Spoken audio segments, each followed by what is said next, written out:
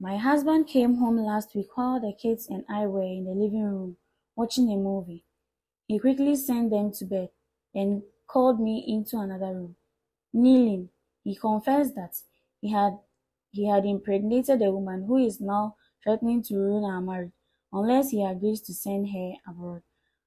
After considering the cost, he decided that the money would be better would be better spent on our family and asked for my forgiveness for his infidelity.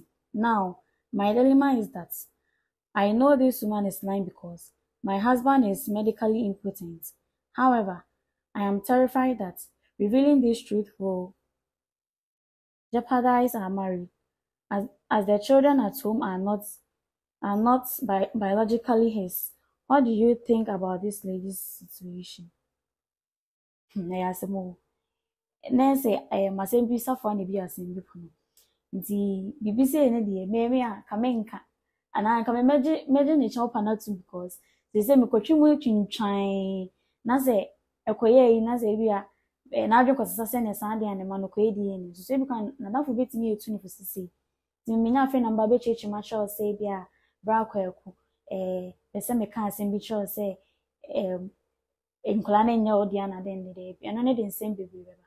Nti meme deɛ mɛgye kyɛw pa no ato mu mebu m'ani agu so zi uwe ka ọ bɛyɛ mụ na nka wɔ saa situation wee mu a nka ọ bɛyɛ dɛn? Ka ọ ne mfom so na anaasɛ ɛkyɛw pa na ɔpa no ɔbɛgye ato anaasɛ ɔbɛtwe asɛm no mu twan betumi atwerɛ wɔn adwene wɔ comment section.